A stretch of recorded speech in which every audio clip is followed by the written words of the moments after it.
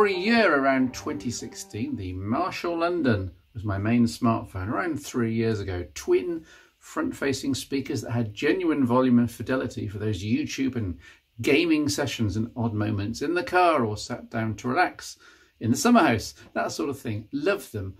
And twin 3.5mm jacks. I never used both at the same time as the device allowed, even encouraged it. Plus stereo audio recording was stunning not something that was a given anywhere else in the phone world apart from the Lumias uh, in 2015 when the London launched. The rest of the phone was very underwhelming, of course. Low-end processor, only 2 gig of RAM, 720p, LCD screen. This was 2016, but even so, it was low-end. Rather poor camera, but I stuck with the Marshall London for its speakers, its strong suit, and the diminutive size with grippy exterior that never needed a case meant it was so easy to pocket. Fast forward to 2019 though, and as I explained on PSC many times, a Snapdragon 410 and 2 gig of RAM just doesn't cut it for modern, larger Android applications, not to mention that the OS is stuck on, wait for it, Android 5. And there are no biometrics, it's down to gestures, pins and passwords to get anything done, just unusable to any serious degree. But wait, there's an almost modern equivalent to the Marshall London, and I've never covered it here on the phone show.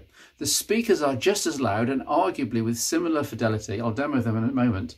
And every other specification is flagship level for 2018-2019, right up to the Snapdragon 845 and 8 gig of RAM.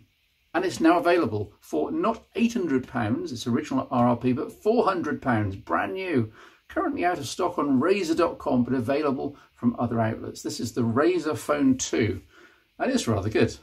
Now the original Razer phone here debuted at the end of 2017 and I covered it in Phone Show 329. Huge and black with speakers that were decent but a little tinny, pitched by Razer as a gaming phone of course with a QHD LCD screen at 120Hz refresh rate but not much in the way of brightness, you can probably tell here, plus an uninspiring dual camera system. It's worth considering if you're a gamer, but so many specification holes compared to the flagships of the day, the Note 8, the Galaxy S8 principally.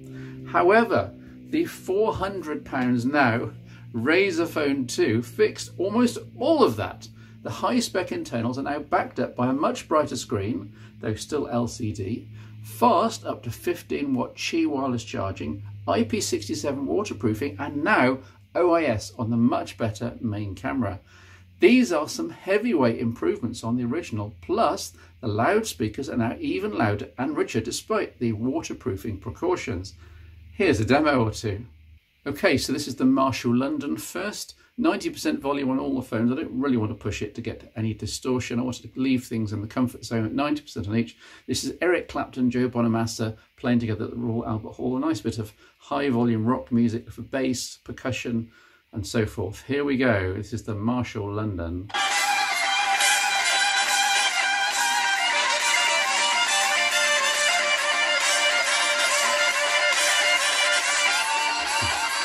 There we go. And now this is the Razer Phone 2, same piece of music.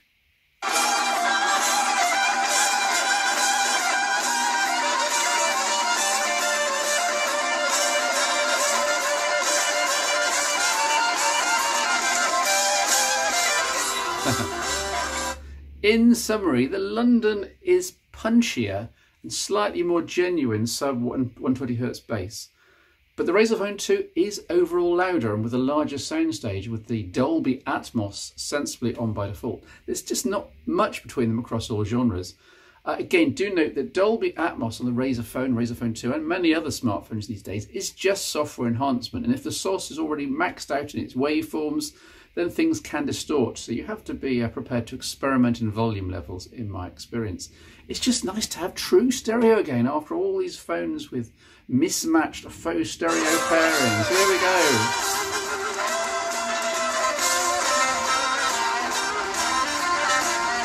If you're watching a film with Dolby Atmos encoding, even enhanced again with a wide stereo stage, it's just very, very impressive. The Razer Phone 2 is now glass backed and rather slippery. Oh, by the way, here's the aluminium backed Razer Phone original. Uh, a clear TPU case is an absolute must here, and a clear because Razer has upgraded the company logo to, wait for it, chroma illumination, a bit like the pre-2015 Apple MacBooks with the Apple logo. So with a clear case, you can admire the logo and others can ask, what the flipping heck is that? As with the original Razer, there's a decent capacitive fingerprint scanner built into the right side power button, plus the volume buttons are centralized to help avoid knocks when gaming, apparently. One aspect of phone design which you just know I'm going to rail against is that neither the original Razer phone nor this second gen model have the 3.5mm audio jack. But while this would have been nice, I'm going to forgive Razer here because they went the extra mile and included a 24-bit DAC stroke dongle in the box. 24 bits, high volume, high quality. You see, there are jacks and there are jacks. The Galaxy S series filming this and Note series from Samsung produce okay wired audio output. The LG flagships have a terrific DAC and wired output. But many, many cheaper devices, and I'll use this as my Pixel 3a XL headphone jack, but it's not special. They use the basic DAC, a digital audio converter built into the main chipset, and wired audio just isn't loud enough or of high enough quality as a result. So if you're going to get rid of the 3.5mm jack, then make sure its replacement gives better quality. And the Razer DAC is excellent, bettered only by the Hidizs one that I've been mentioning several times before on various channels. Really, really high quality, high fidelity, high volume. The obvious downside is that you can't charge your phone while you listen. Well, actually you can with this tiny mini hub from Zivio. I've also uh, reviewed this on various blogs. Just saying, check out the link. USB Type-C and 3.5mm with a DAC built in.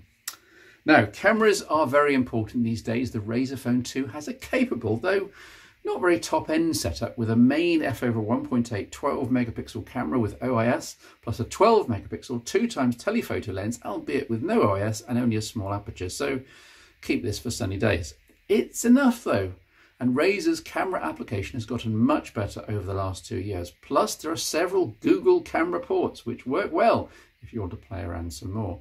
I've included some of the low light shots here with Google camera and its night sight so you can see what good software can do with good to average hardware.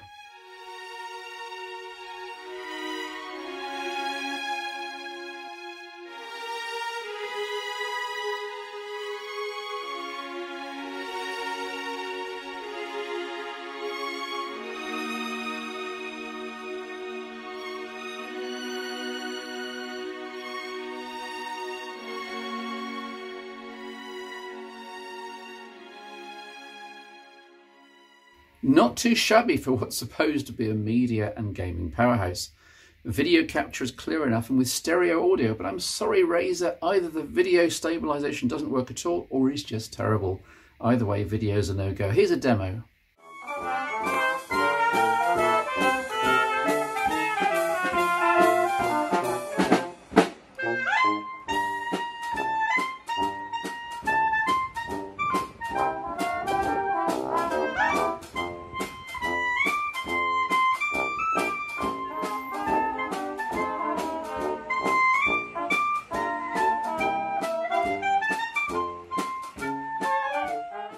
Although there's no always-on display on the Razer Phone 2 per se, perhaps thanks to a use of an LCD panel, there's a verbosely named third-party utility, always-on AMOLED with edge lighting, which gives all the capability of always-on display for a Samsung Galaxy, for example, and with seemingly trivial battery drain. Software magic, I tell you.